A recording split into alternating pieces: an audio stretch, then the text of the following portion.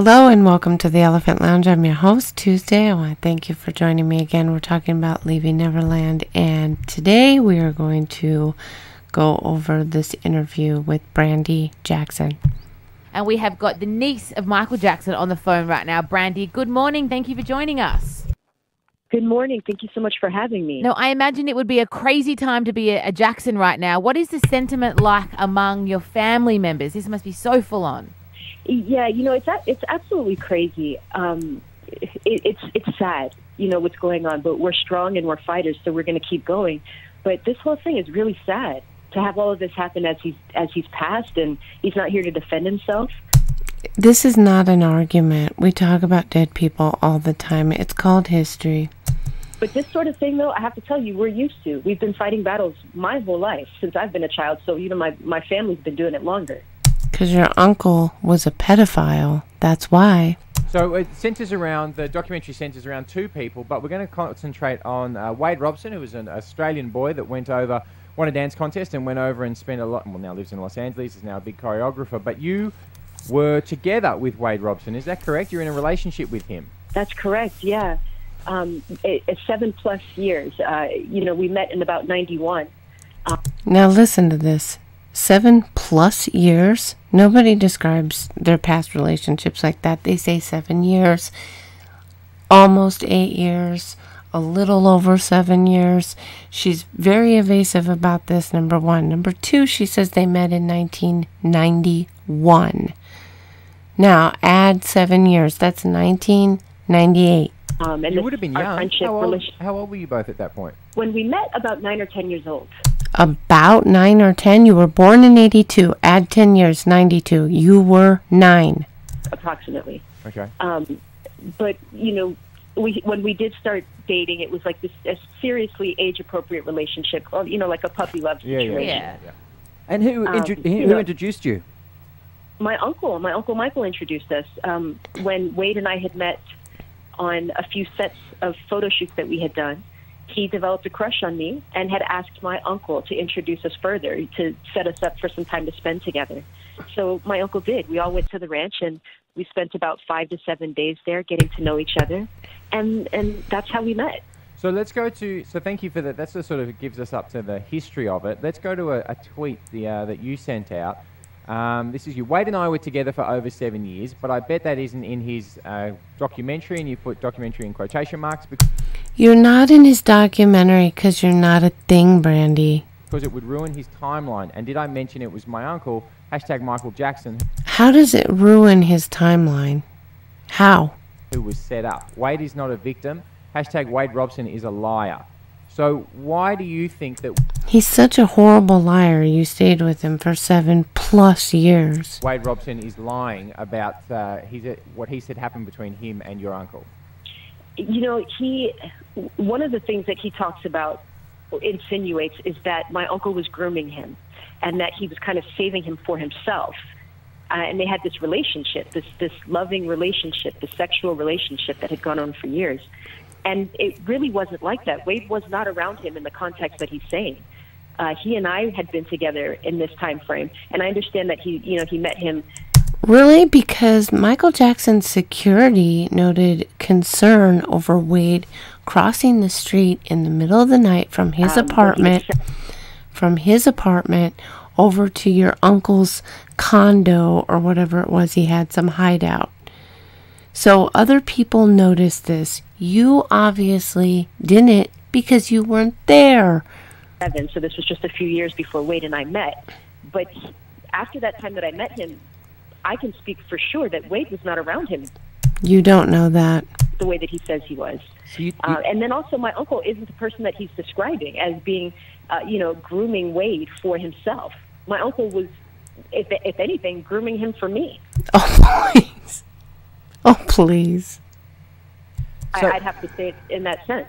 you deny that then there was a sexual relationship, but was he sleeping in the same bed as as you or your uncle?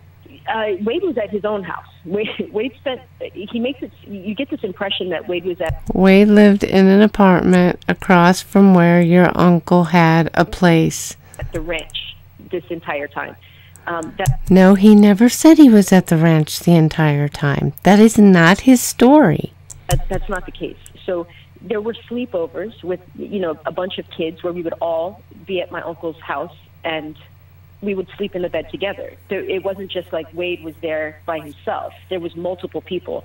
So he's got these stories that um, you know give you this really sinister image of of what was taking place, but it really didn't happen that way. And that's why he doesn't mention me in this documentary because it would kill everything he's trying to to insinuate. But He if, does- if there was something untoward going on and they were um, up to no good, you can imagine He doesn't mention you because you're not a thing. And that that would be hard to talk about. That they probably wouldn't uh, talk about that. He, he wouldn't tell people about that. You can imagine it would have been happening in a quite a secretive manner, wouldn't it? it? To me, it's not surprising if it happened. Of course, they wouldn't tell people. Of course, I, I don't I don't expect that he would have come to verbally tell me Obviously, you do. Otherwise, why are you saying these things? that these things were happening. Um, however, his behavior, and first of all, I, I'm going to talk about his behavior. It was very, very normal. We had a very uh, normal relationship between. It was very normal. Brandi, you're a Jackson. You do not come from a normal family, okay? You are nine years old to 16 years old. You don't know what normal is. between the two of us. But uh, And if he's so normal, why are you calling him a liar and calling him all these things now? the other thing that I need to stress to you is that, like I said, I spent a lot of time at Wade's house. He wasn't with my uncle. That that wasn't the case. My uncle is a very busy man. On top of it, he was hardly even at his own home. He was constantly out of the country. It doesn't seem like you spent a lot of time with him. You have one picture with him. country traveling. Wade was in Los Angeles working. So, but So Brandi, this- did you? But Brandi, did you ever? Let's say Wade was in a room by himself with Michael Jackson. You're not in that room. You don't know what happened then. Absolutely. Right. One hundred percent. But but you have to understand the narrative as to the the way that he's telling this story. Your narrative. don't We not have to understand your narrative. Like we also have to understand Yeah. that you, you know, that this is your uncle, and we understand that you've got uh, an opinion and a and your own And you timeline of what him. happened here, and you love And him. And you don't want your uncle to be a bad guy, of course. why? Why Well, he is a bad guy. would you Uh, it's not about that though. Well, why It's would not about that. I'm- But Brandi, why would someone now? What does Wade have to gain from any of this? We spoke to someone yesterday who Nothing. works in the dance community in Los Angeles who said that he's now almost a pariah. That he's being people are coming out against him. We've seen music executives coming out writing long pieces against him. What on earth would someone have to gain to put themselves? Nothing. Wade doesn't have anything to lose. Wade doesn't have anything to lose. Wade is married. Wade has a child. And how about you, Brandi? Nobody married you, did they? Nobody gave you a child. You're almost 40 years old and have no children. Um, and, and that's why he, if you go back to 2013, when he's referencing these breakdowns that he was having, these financial breakdowns, mm-hmm. he was having difficulty with his work. Oh, here we go. Here we go. It's convenient, isn't it? That everybody that ever told anything about Jackson, told the truth about who your uncle was, they all somehow have money problems or they need money, and that's the motivation. Isn't that just the most convenient way to tear somebody down?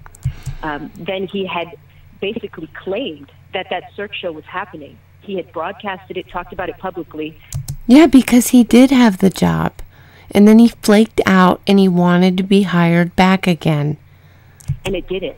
It fell through for him, and that's a hard thing in this industry. When when doors are being shut in your face and you don't know which direction to go to, you sort of feel a little lost. And I have to tell you that my uncle was a lifeline for him. So he decided to come out and say he was molested? Are you kidding me? That's what you think people do when they're suffering from financial problems? They go around telling people they were molested? So he went through a depression when my uncle was gone, but it wasn't because his lover was gone. His friend was gone. His lifeline is gone. Have you had a chat to Um, Wade but- since all this happened? Have you reached out to him?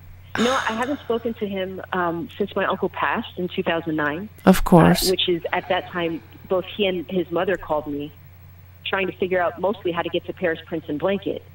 So I, I'm telling you that these are people that have a different sort of agenda than the average person is used to dealing with. But you dated him for seven years. This is something that I've seen So, um, Brandi, from people what my about, whole life. Brandi, what about the other boys though? What about James Safechuck? What about Jordy? What ab- Here come the lies. A whole plethora of lies. about the you know the other boys? What's their story? Yeah, and that's something that I ask people to research and really look into. Because, for example, Jordy that you mentioned, he never testified. There was never a criminal Well, suit. paid. Because he was paid. It's part of the settlement. Hush money. As soon as they got the money, it, it, the insurance company paid it, and that's No, no insurance company paid it. There was no insurance involved. Transamerica came out and said, We will not pay because we do not consider inappropriate touching of a child to be an accident. Those were their words. And if you look on the signatures of the settlement, there's no insurance company involved. Read the settlement. There is an admission of inappropriate contact between Michael Jackson and Jordan Chandler. that's something that people don't know. My uncle paid it because, or I, Aha, did you hear that? Did you hear that? Let's listen to it again. and that's something that people don't know. My uncle paid it because, or I should say, the insurance company paid it Ah, see? Do you, do you see how she caught herself? My uncle paid it. My uncle paid it because, or I should say, the insurance Yeah, you catch that? She caught herself. Yeah, your uncle did pay it. We know this. company paid it because they were gearing up for a criminal suit. So you don't In think that 1990 payment No, they weren't gearing up for a criminal suit. They did not want the criminal suit. They settled before the investigation even ended. is an admission of guilt? Some people view it that way, absolutely, but you have to understand that in 1993, you were able to file a civil suit against You were 11 years old in 1993. You don't know anything about the 90s. someone before filing a criminal suit. So that's what was coming up, and the insurance company just said, "We'll pay the No, they did not. the 20 million while you start preparing for your criminal suit." I mean, it's a lot of money, Brent. Insurance doesn't pay out 20 million to, for diddling a child. A It's- lot, lot of of money. money. That's a I, lot of I money. understand, but please, I understand, but please let me finish. As soon as they got their their money, they Jordy refused to testify, and he Because he couldn't. He'd be in breach of the settlement. said, "My father made me do these things." This is something that a lot of people don't either remember That- or don't. Go, go, go back. We're going back here. Listen to this. This is another outright lie. find. He said, "My father made me do these things." No, he did not. No, he did not. There's absolutely no evidence. And as far as Mesereau saying we were going to put people on the stand to say he was lying, that's hearsay. You can't do that. That's why he was saying that crap. It's all a bunch of bloviated nonsense. This is something that a lot of people don't either remember or don't know We don't remember and don't know because it didn't happen. Because this was over 20 years ago. So people really need to go do their research Wow. and understand that my uncle wasn't given a chance to fight in 1993. wasn't given a chance to fight. Are you kidding me? They wouldn't. Pro- they wouldn't um, testify, so he didn't have a chance to defend Cause he shut him up with hush money. himself. Mm-hmm. He was labeled as a guilty man before even being convicted. Mm-hmm. When he finally Oh, had a chance to fight in 2005, he was found not guilty on 10 counts. So that There's apart, no evidence against him. No evidence, but he was arrested and charged. And you're right. A, a lot of the stuff got thrown out because he had, oh, lawyers? Not just any lawyers. Your uncle didn't hire lawyers from Silicon Valley Community High or Community College. Okay? He hired the creme de la creme. apart from Wade, you, you believe your uncle did not have any other relationships with any other boys whatsoever. Absolutely, 100%. So- That's not my uncle. That's not who this man is. And I understand that people think he's Oh, weird and that he's different, but he's not a. ch- He was a pedophile. He fit the exact profile of a pedophile. He spent his sexual prime with little boys. child molester. But can I just say, Brandi, it happens every time. Like, and I'm, I'm not saying you he's guilty. I'm not trying to make you uncomfortable. But one thing we have to understand is, no pedophile's family goes I w- I'm not surprised at all. He was always a creep, but this happens over and over again. It's, Exactly. He did this. He wasn't Exactly. this person around us. He was a loving Right, dad. He was a loving cousin. So, you know, really, uh, that argument doesn't. Secretive course- by nature. Yeah. It's not an argument. Now, now, and I understand what you're saying, but here's the thing. The reason why I'm speaking out is because I do know Wade and his family, and I do know their motives. Yeah, they're so awful. And when's the last time you spoke to them? I have a very large family. You don't see my other cousins coming up and saying, my uncle was innocent, my uncle was innocent. Although they know he was, No, they know he's guilty. they understand that narrative of, of course, family's going to defend family. But I'm coming from a different mm-hmm. place. Even if he wasn't my uncle, I know the people that are accusing him, and that's why I'm speaking out. It's not because he's my uncle and I don't want my uncle to be a bad guy. If he was guilty, I would sit back and shut up. I wouldn't have anything to say if I thought that he was, And uh, because I know him. as You know, you shouldn't speak so ill about somebody you once dated. It doesn't look good on you. No matter what, you shouldn't speak ill of people like that. We're deciding ourselves whether we should continue to play Michael Jackson music or not on our station, as many stations are now banning his music around the world. What's your message to the world and Michael Jackson fans? You know, I to that I have to say, right now with social media, it has given people a voice to think that they are judge and jury. They think that they're allowed to create someone's fate based on their own belief. No, your uncle created his own fate. He was a pedophile who molested we don't even know how many children. It is unfortunate that male victims don't often come forward, but when they do, they are telling the truth. And media has a way of slandering people and making you believe things that they shouldn't. Oh, here we go. Slandering, talking about the media. Talk, it's always the media's fault. The media loved Michael Jackson back in his prime. Don't tell me otherwise. So I, I- I really want people to, to understand that this man has fought his fights. He has been humiliated on more than one. He was a drug addict as well. one occasion. He did everything that he was supposed to within the, the eyes of the law. He was investigated for over 10 years. No, he was not. Why? Why? Why do you guys keep repeating this same old crap? First page, first paragraph, FBI website.